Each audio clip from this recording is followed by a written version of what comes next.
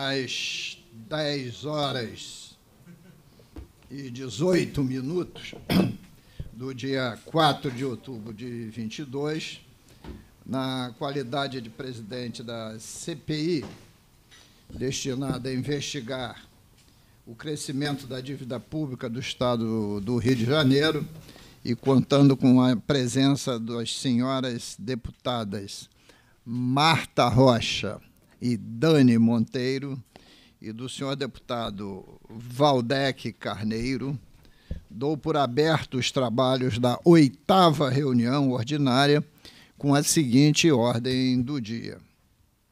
1. Um, distribuição e debate sobre o relatório final da comissão. Deliberações e assuntos gerais. Primeiro, me cabe dar uma informação, visto que este relatório, construído pelo relator, deputado Rodrigo Amorim, sofreu já alguns apêndices de algumas sugestões, tanto minha quanto do Fernando Lopes, que é o nosso deputado ad hoc. É, e ele foi, evidentemente, construído num período muito conturbado, né, que foram os 45 dias últimos, que foi o processo político eleitoral de primeiro turno, mas de turno único para todos nós que fomos candidatos a deputados estaduais ou deputado estadual ou deputado federal. Assim posto, nós vamos entregar às senhoras e senhores uma versão preliminar, versão preliminar. Vamos suspender, suspender a contagem de prazo da CPI e marcar a leitura final com a sugestão das senhoras e senhores deputados para o dia 20 de outubro agora. Né? Então teremos aqui 16 dias pela frente. A semana que vem tem um feriado, dia 12 de outubro, é feriado. Né? Então, dará tempo de se construir a versão final e adicionar aquilo que estiver ainda incompleto. O... Então, queria, primeiro, antes da leitura aqui de, da, da, da sistematização do relatório, deliberar se as senhoras e senhores deputados concordam de a gente suspender a contagem de prazo, que acabaria amanhã, e marcar dia 20, às 10 horas, a leitura final do, do relatório. Deputada Dani Monteiro. É, Bom dia a todos e a todas. Saúdo o deputado Luiz Paulo, nosso presidente, nossa vice-presidenta deputada Marta Rocha, também aqui nosso membro deputado Valdec Carneiro. Acho que é uma retomada importante né, de um trabalho legislativo que não se encerrou. É bem verdade que passamos os últimos 45 dias fazendo um processo eleitoral que foi dos mais difíceis né, da nossa democracia, mas o trabalho legislativo ele se seguiu e a própria produção do relatório é uma das comprovações disso. Vejo aqui já, deputado Luiz Paulo, as notas de rodapé que falou, e de fato me parece um relatório bastante denso, né, robusto. Acho que é bastante adequado, haja vista que o prazo da CPI se encerraria amanhã, que a gente consiga ficar até o dia 20 com os trabalhos suspensos para garantir uma leitura e uma apreciação bem detalhada do relatório.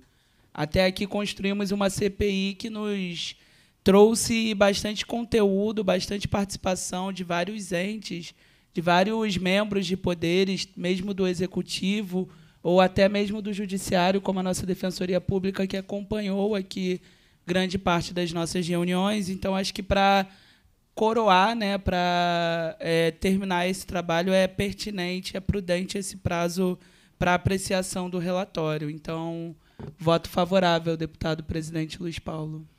Deputado Valdec Carneiro. Senhor presidente, senhoras deputadas, eu quero, em primeiro lugar, cumprimentar todo mundo aqui, cumprimentar também o Luiz Paulo, a Marta e a Dani pela recondução para a próxima legislatura aqui na casa, na LERJ. É que bom para o Rio de Janeiro que vocês foram reeleitos. Eu queria é, é, dizer também que concordo com essa proposta, com esse encaminhamento. Nós temos aqui uma minuta, nós teremos, portanto, tempo hábil para fazer uma leitura e, e oferecer né, eventuais contribuições até o dia 20 de outubro, quando faremos a leitura da versão é, que será submetida à aprovação da CPI. Portanto, meu voto é favorável ao encaminhamento do presidente Luiz Paulo. Obrigado, deputado Valdec.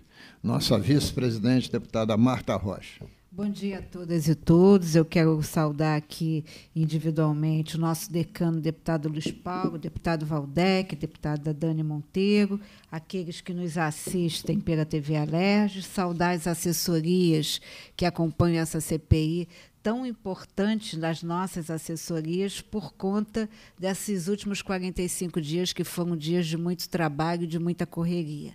Eu quero dizer, deputado Paulo, que eu concordo plenamente com o encaminhamento feito por Vossa Excelência. Estava é, aqui olhando o relatório e me reportando a CPI da crise fiscal, em que nós nos encontrávamos religiosamente às segundas na parte da tarde e que o quanto aquela CPI foi importante para conhecer né, o que levou o Estado do Rio de Janeiro ao regime da, de recuperação fiscal. E acho que o trabalho desenvolvido nessa, CPI, sob comando de Vossa Excelência, com a participação de todos nós, vai, será de extrema relevância para entender quais são os passos a serem adotados nos próximos quatro anos. Né? É, estamos aí ainda vivenciando os momentos da eleição, mas temos que não perder de vista a dificuldade do Estado do Rio de Janeiro, o desafio do Estado do Rio de Janeiro de é, a sua retomada econômica e pela primeira vez, né, se tem um trabalho robusto dedicado a identificar verdadeiramente qual é o valor da dívida do Estado do Rio de Janeiro. Acho que só por isso, pelo fato de estarmos aqui juntos, debruçados nesse tema, analisando os textos, analisando os dados financeiros e matemáticos, só por isso já terá sido uma grande contribuição.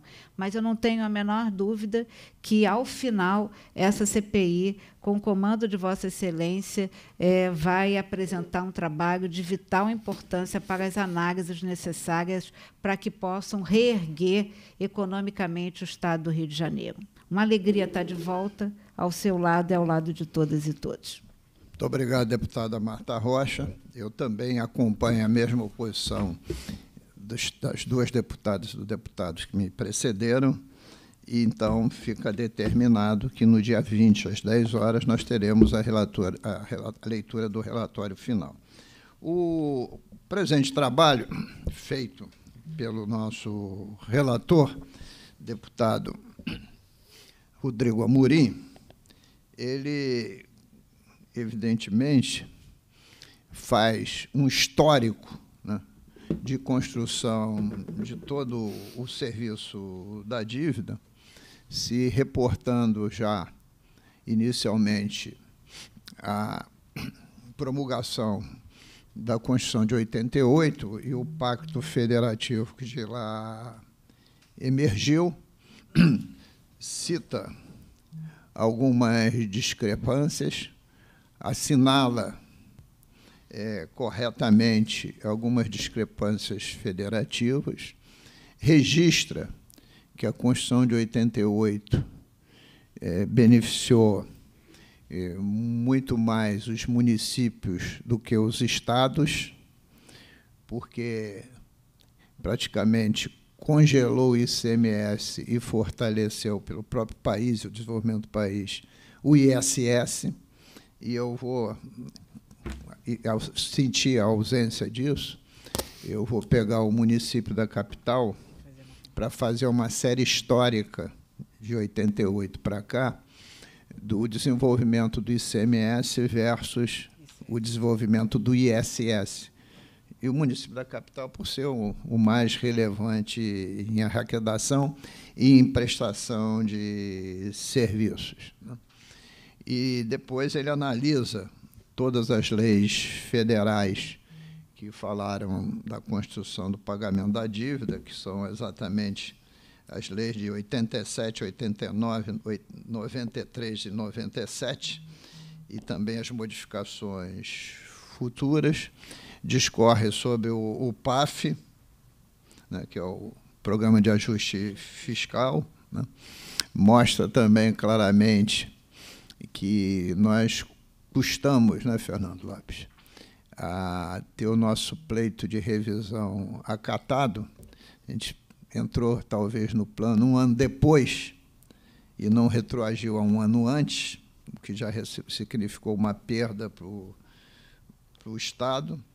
Em seguida, ele analisa as operações de créditos que vieram ocorrendo, entra no regime de recuperação fiscal, depois, evidentemente, analisa a crise econômica de uma maneira bem bem superficial, vai para a Lei Complementar 178 de 21 e, finalmente, depois desse histórico, entra na, na análise da dívida pública do Estado do Rio de Janeiro, o seu perfil, a evolução e os riscos da dívida pública.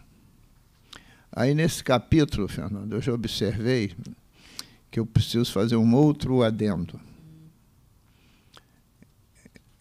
é que a gente tem que pegar o decreto do governador, né, que reduziu a alíquota de combustíveis e outros para 18 pontos percentuais. Isso significa, este ano, uma redução de arrecadação de 6 bilhões. A gente vê no orçamento que chegou no dia 30, a casa, dos livros ainda não chegaram, mas o texto já chegou é, e o, o orçamento está em 94 bilhões, o que está previsto de ICMS e cotejá-lo com a previsão que tinha lá na LDO. Porque, evidentemente, se você reduz a arrecadação do ICMS, você bota em risco o pagamento da dívida, evidentemente. Né? É um vovó viu a uva. Isso é um aspecto novo que a gente tem que introduzir, mas que aconteceu do, no, no período de, de campanha. Depois ele parte para o indexador ideal, né, que a gente já simulou e verificou que é o IPCA, né, e na simulação que a Fazenda entregou à CPI claramente mostra que se, se não tivéssemos reajustando o serviço da dívida desde 97 pelo IGPDI mais 6 e de 1 de janeiro de 2013 pelo IPCA mais 4, ou taxa Selic, o que for menor, e tivéssemos tudo reajustado desde o início pelo IPCA, nós teríamos, estaríamos pagando 70 bilhões a menos. Não é pouco dinheiro, e este é um número absolutamente relevante. Em seguida, se passa para as conclusões, que eu acho que é a parte mais rica para receber sugestões, empuxos, etc. E nessas conclusões, é, a gente já tinha discutido aqui, precisa ser introduzido, três caminhos distintos que tem que ficar muito claro. Né? Primeiro, tentar aprovar esse relatório agora no mês de novembro e o presidente encaminhar ao Tesouro Nacional um pleito né, em cima do relatório de que se possa ser revisto o conceito de pagamento de serviço da dívida, reajustando-o pelo IPCA e não pelos critérios hoje é, existentes, e demonstrando que essa dívida se torna impagável e que usurpa dos cofres do Estado do Rio de Janeiro 70 bilhões. Não seria essa a primeira questão. Derivado disso, teria a segunda proposição também no, no sentido de que se o Tesouro Nacional rechaçar ou concomitantemente ajuizar uma ação no Supremo Tribunal Federal.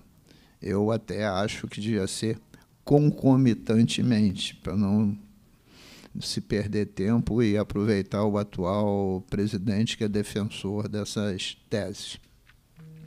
E, finalmente, o terceiro, que tem que ser suscitado ao governador, eu acho que careceria de fazer parte dos encaminhamentos finais, mas também seria importante que o presidente da casa levasse essa questão ao governador, que é um movimento nacional após a eleição do novo presidente da República, no Congresso Nacional, para mudar essa indexação da, do pagamento do serviço da dívida. Eu acho que essas três propostas são absolutamente possíveis e indispensáveis é, de fazerem parte do, do, nosso, do nosso relatório. Né? Então, seria essa uma súmula muito apertada do, do contido. É, ontem eu, eu vim para cá e fiquei lendo o, o, relatório diversas vezes, mas não é fácil né, a gente ir pensando tudo isso, porque, querendo ou não, a nossa cabeça, no momento que você distrai, ela vai lá nas eleições de novo. Né? É um negócio impressionante. Né? Uhum. Tá lendo, tá lendo, daqui a pouco, você bobeou um pouquinho, você sai do tema e vai para as eleições gerais. Mas eu acho que a gente cumpriu aqui o que podia. Né? E eu acho que com esse dia 20, a gente desce para a terra, faz uma leitura mais apurada e tenta fechar com essas três questões. Seria necessário também, o, só por causa de recapitulação, o, o, Gabriela, que a gente encaminhasse para os nossos deputados todas as respostas dos ofícios da Secretaria de Fazenda, porque eu acho que isso pode ter ficado disperso nos mais diversos gabinetes, exatamente pelo período que já viveu. O, como é o nome dele? Rafael. O Rafael deve ter juntado isso tudo lá, né, Rafael? Mas se não juntou, a gente, a gente reencaminha, né? porque são, foram muitos ofícios e, e a Fazenda foi é, muito eficaz, pelo menos em tentar responder os ofícios. Às vezes respondia com algum engano, a gente refazia e mandava de novo, enfim. Então, essa súmula eu queria passar e aí abrir a palavra a vocês. Valdec, por favor. Bom, eu quero também, de maneira muito sumária, é, primeiro, destacar o esforço de sistematização né, feito é, através desse relatório, ainda não li, mas, é, passando os olhos, parece conter elementos muito importantes que agora vão ser objeto da nossa leitura mais acurada. E também, como sinalizou a Marta, eu acho que para acompanhar os trabalhos desta CPI, foi muito importante ter sido membro da CPI da crise fiscal, não é? Porque na, já na CPI da crise fiscal, Fernando, nós já é, tratamos de questões é, relacionadas à questão da dívida pública e, e enfim, e outros aspectos correlatos. É, acho aqui que eu quero apenas repisar, mas destacar dois grandes questionamentos que apareceram, entre outros, né, mas dois grandes questionamentos. Um, este relacionado ao indexador para o pagamento da dívida no período de 97 a 2013. Né? Acho que é fundamental que a Assembleia Legislativa, é, com base neste relatório, seja capaz de provocar né, as autoridades federais competentes no sentido de reivindicar uma revisão é, do cálculo desta dívida, porque isso pode significar um abatimento, Luiz Paulo me corrija, cerca de 50% do valor atual da dívida que o, que o Estado tem com a União. 70 bilhões representam mais ou menos isso. Então, isso é muito significativo para o equilíbrio fiscal né, equilíbrio das contas públicas do Rio de Janeiro, muito mais do que pode produzir o regime de recuperação fiscal propriamente dito. Então, isso me parece uma questão muito importante.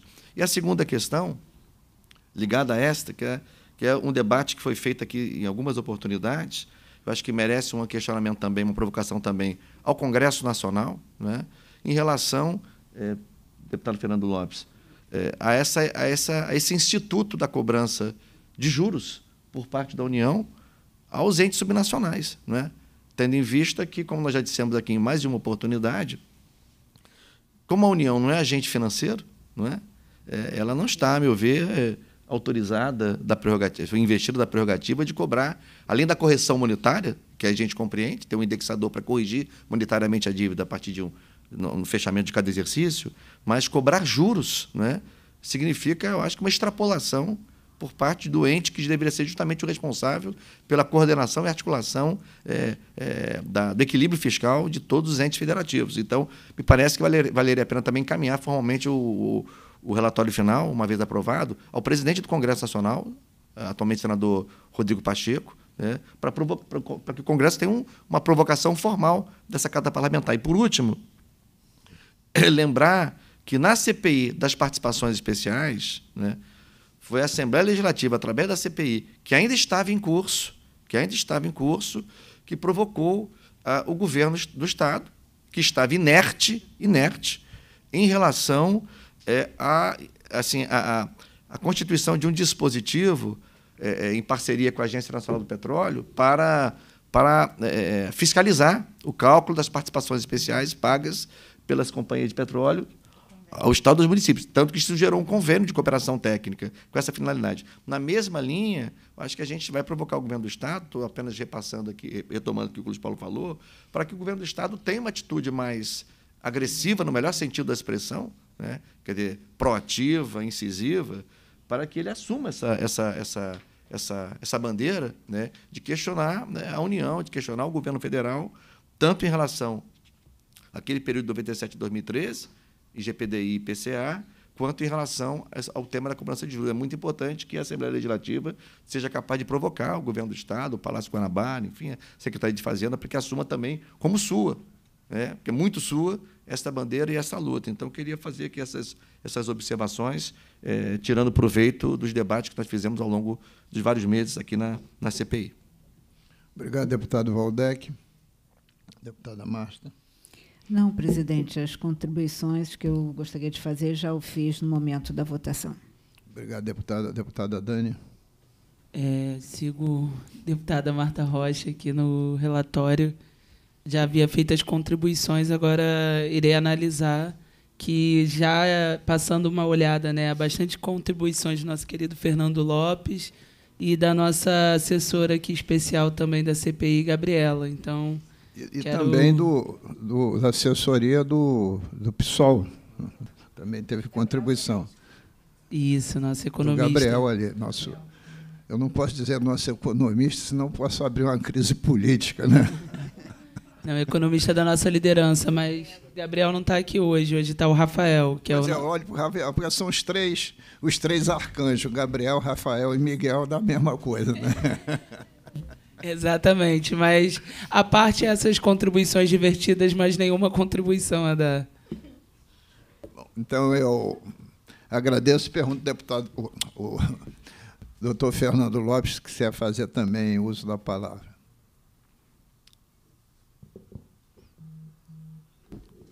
é só para.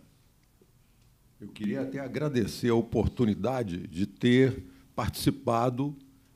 É, aqui dessa CPI, né, porque o trabalho, o levantamento de informações, né, enfim, conseguir ter esse quadro mais arrumado na cabeça, eu acho que nos, nos facilita a defesa de projetos, ideias, propostas para correção desses desses procedimentos. E, e, acho que todos nós aprendemos, eu também é, aprendi bastante nessa no curso dessa dessa CPI e no que pude procurei colaborar.